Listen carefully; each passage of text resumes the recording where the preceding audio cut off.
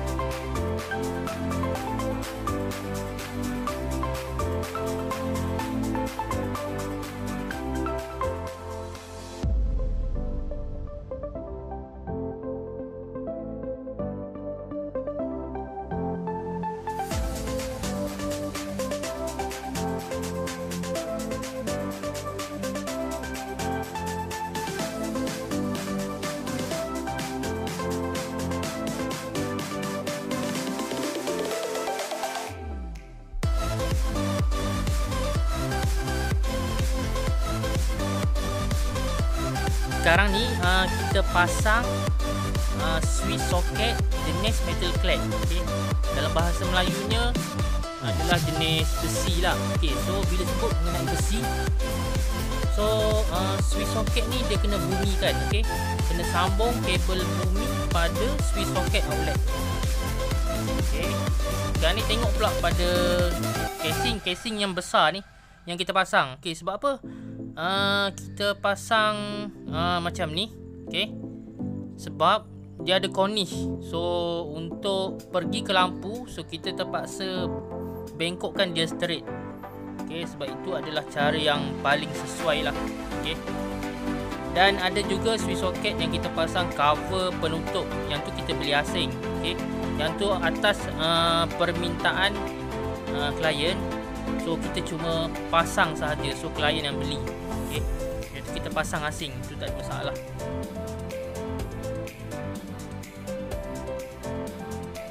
Okey uh, ni dekat bahagian DB kotak pengagihan elektrik. Okey okey yang ni yang saya yang saya tersebut tadi. Okey uh, switch socket outlet jenis besi. Okey switch socket jenis ni uh, memang heavy duty. Okey dia memang tahan lama kalau tuan-tuan ada bajet lebih uh, Boleh beli switch socket outlet jenis besi ni Sebab uh, dia memang jenis heavy duty dan tahan lasak okay. Cumanya pastikan untuk switch socket outlet ni uh, Dia kena sambungkan dengan kabel bumi okay. Sebab apa? Yang tu adalah untuk keselamatan kita sendiri okay. In case nanti kalau tiba-tiba katakanlah uh, Berlaku masalah uh, bocor okay elektrik bocor, kabel live bocor, tiba-tiba uh, kabel live bersentuh dengan um, besi ni, okey, switch socket jenis metal clad ni. So nanti dia akan trip. Okey, sebab apa dia trip? Sebab kita dah sambung dah kabel bumi pada switch socket outlet ni. Okey. Kalau kita tak sambung So bila kita pegang je switch socket so nanti kita akan rasa renjatan elektrik. Okay, jadi yang tu memang agak berbahaya. Okay. Jadi itulah kepentingan uh, sistem pembumian. Okay. Kepentingan kabel bumi tu. Itu adalah untuk keselamatan pengguna. Okay. Memang sangat-sangat penting. Okay. Jadi uh, macam mana yang kita tahu uh, ramai yang uh, ada ada sistem subscriber tanya ada yang rumah kampung okay, ada yang rumah kampung kenapa dia tak pakai uh, kabel 10 mm okey. Kabel yang ada cuma kabel saiz uh, uh, 2.5 mm biasa kat rumah kampung dia pasang. Okey sebab apa dia pasang macam tu? Sebab sebab utama yang paling senang yang logiknya adalah costing. Costing dia mahal okey. Bila kita pasang kabel saiz 2.5 mm so itu akan menjimatkan lagi kos wireman okey kalau pakai kabel saiz 10 mm so dia akan lebih mahal. Kabel 10 mm saiz dia besar dan dia lagi mahal. Jadi itulah sebab utamanya. Dan satu lagi mungkin uh, wireman yang pasang di kampung tu uh, mungkin dia kurang ilmu okey? Mungkin dia kurang tahulah okey assumption sahaja. Okey jadi sepatutnya kita kena follow uh, apa yang telah ditetapkan oleh Suruhanjaya Tenaga. Okey requirementnya adalah minima 10 mm untuk single phase. Okey dia lagi besar beban so lagi besar uh, saiz kabel bumi yang kita kena pakai.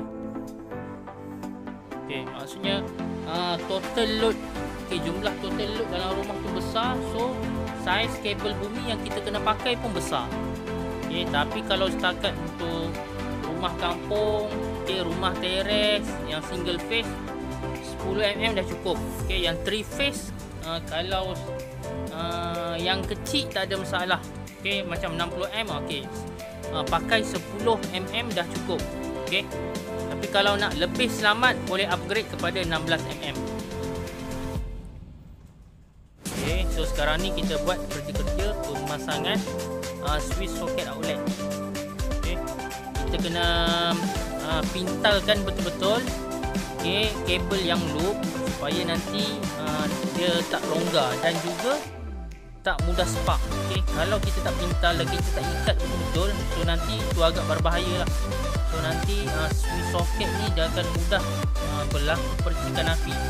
Sebab apa? Sebab bila kita guna so dia nak tarik nak tarik kabel nak tarik elektrik tu dia tak uh, tak dapat nak tarik sepenuhnya sebab kabel tu tak ikat dengan betul. Okey. Dia longgar. Okey, yang tu agak bahaya. Okay, so kita kena check. So apa yang kita buat lepas kita dah screw betul-betul, kita cuba tarik dulu dia. Okey, bila kita rasa dia ketat, so tak ada masalah. Okey, boleh terus pasang je socket tu.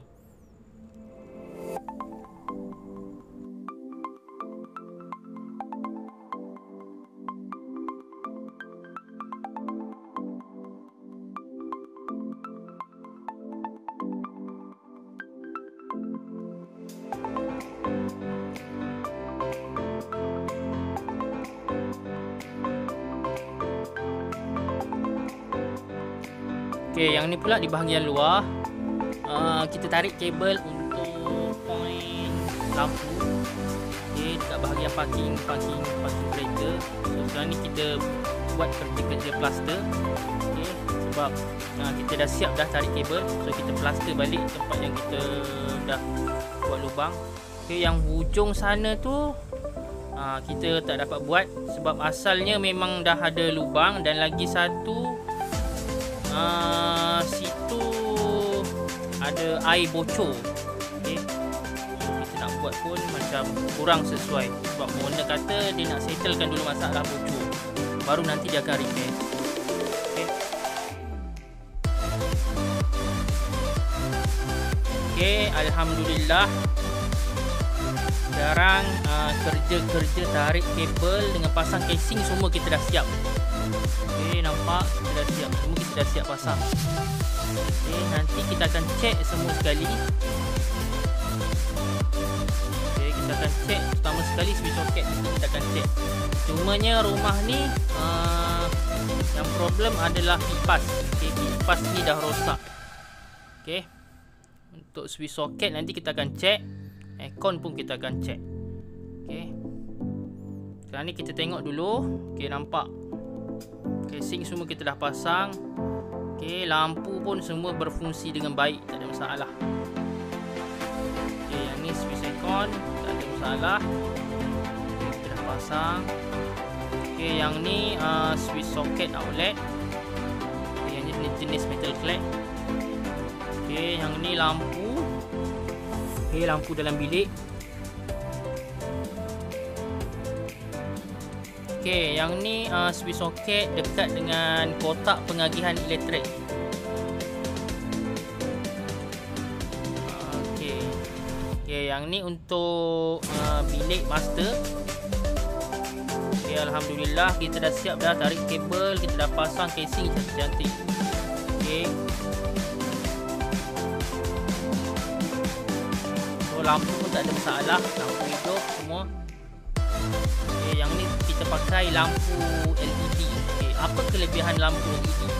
Kelebihan lampu LED ni dia menjimatkan elektrik dan lagi satu bila kita on je dia terus menyala. Okay, sekarang ni kita akan check dahulu switch socket. Okey. Uh, sebelum tu saya nak terangkan dahulu. Okey. Uh, yang ni alat ni nama dia socket tester. Okey. Uh, yang ni uh, jenis uh, Habo test. Okey, apa kelebihan soket tester ni? Bila kita cocok, kita boleh detect sekali berapa dia punya bacaan voltage dia. Okey. Tuan-tuan boleh tengok uh, lampu bahagian atas nampak ada dua menyala, okey. Warna merah dua menyala sebelah kiri. Okey, bila dua menyala, dua lampu LED menyala tu sebelah kiri, yang tu bermaksud pemasangan pada switch soket semua adalah betul. Okey, nampak adalah betul tak ada masalah. So, sekarang bacaan voltage yang kita dapat 248. Okey, lebih kurang lah 246 ke 249 lebih kurang. So, untuk bacaan voltage tu yang tu uh, dalam requirement uh, yang dibenarkan oleh uh, TMB. Okey, so tak ada masalah. Okey. Voltage dia okey, cun cantik, tak ada masalah 248 volt. Okey. So, switch socket kita akan check semua switch socket. Okey, yang ni switch socket dalam bilik. Okey, yang ni uh, bilik hujung, yang ni dekat luar ni. Yang ni switch socket untuk air kowe. Okey. Yang ni dekat uh, apa ni? Dekat kawasan mesin basuh. Okay, Alhamdulillah ni pun tak ada masalah 247 volt So lampu pun dia menyala dua Okay tengok keadaan casing-casing yang kita pasang. Alhamdulillah kerja kita semua sudah selesai